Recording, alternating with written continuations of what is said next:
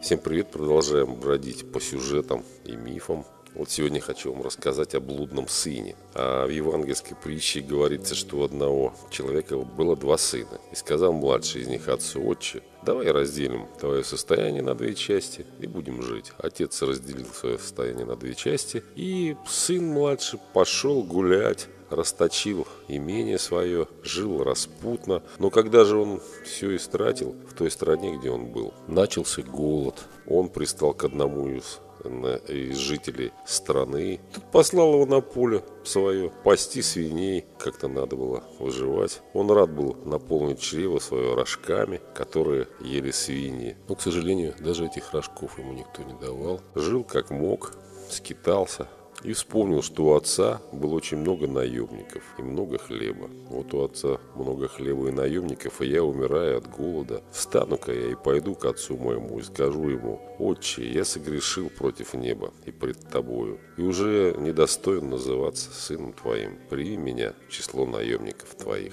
Встал и пошел. когда он был еще далеко, увидел его отец и сжалился побежав, пал ему на шею и начал целовать его. Сын сказал ему, «Отче, я согрешил против неба и пред тобой, и уже недостоин называться сыном твоим». А отец сказал рабам своим, принести лучшую одежду, оденьте его, дайте перстень на руку, обувь, и приведите откормленного теленка, и закалите его, станьте есть и веселиться, ибо сын мой был мертв и ожил, пропадал нашелся. Старший брат, конечно, расстроился. Услышав пение и ликование, он рассердился, хотел прийти на пир. Отец же вышел звать его. Он сказал в ответ отцу, «Я столько лет служу тебе и никогда не приступал приказаниям твоего, но ты никогда не дал мне и козленка, чтобы мне повеселиться с друзьями моими». Отец ответил ему, «Сын мой, ты всегда со мною, и все мое твое, и о том надобно было радоваться и веселиться, что брат твой мертв и ожил»